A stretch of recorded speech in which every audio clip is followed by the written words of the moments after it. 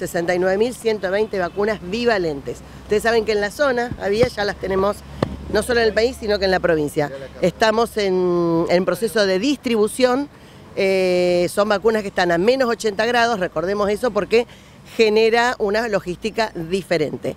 ¿Por qué bivalentes? ¿Por qué las estábamos esperando? Porque ya tienen que ver con la cepa nueva. Tienen la cepa de Wuhan, la clásica, y tienen cepa Omicron con dos subvariantes.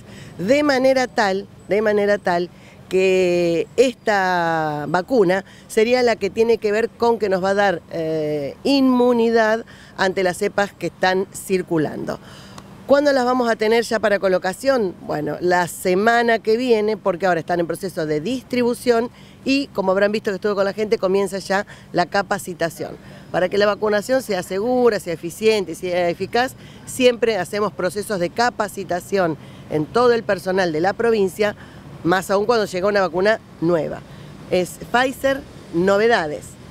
menos 80 ya les dije, pero no hay que diluirla, ya viene eh, diluida. Eso es un tema para nosotros importantísimo en lo que tiene que ver con seguridad. Así que, bueno, explicamos recién a los chicos, se, descongela, toman la dosis y bueno, pero próxima semana estaremos. ¿Qué indicación tiene? Mayores de 12 años. ¿eh? Primera indicación, mayores de 12 años, solo para refuerzos. Si queremos comenzar un, un, no un tratamiento, un esquema, porque no nos hemos vacunado, bueno, no. Ahí vamos a la Moderna, la Pfizer, la Sinopharm, para iniciar. Esto es para refuerzo. Cualquier tipo de refuerzo, vamos a utilizar esta y más de 12. Claramente nos han dado protección las vacunas que estábamos haciendo, claramente. Pero ya tener una vacuna específica, esto es, mire, para que se entienda, para que la gente entienda. Todos los años nos ponemos gripe, ¿verdad?